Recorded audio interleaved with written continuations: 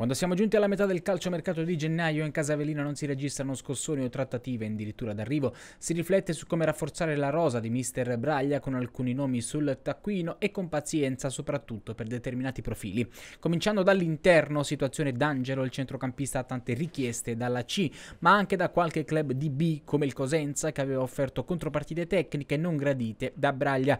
Dunque il bandolero attende un incontro definitivo con la proprietà per capire quale sarà il suo futuro.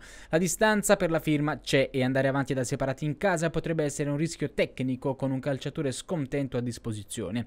Senza trascurare il fatto che D'Angelo potrebbe già accordarsi con un altro club, si attendono sviluppi in tal senso. La stessa agente del centrocampista assiste anche Rizzo, lui in scadenza di contratto, come il bandolero con la voglia di tenerlo in bianco-verde. Col terzino bisognerà ovviamente discutere del rinnovo per non perderlo a zero a giugno.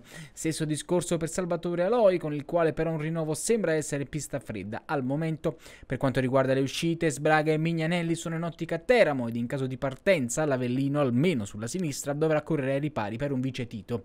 In entrata, ormai nota la voglia di portare nel Pigna un centravanti, i nomi sono sempre gli stessi. Su Murano la concorrenza però è agguerrita, con Modena in ultimo il Pescara, interessate. Iemmello invece sembra sparito al momento anche dai radar del Catanzaro, che forte dell'accordo non riesce però a chiudere definitivamente l'operazione.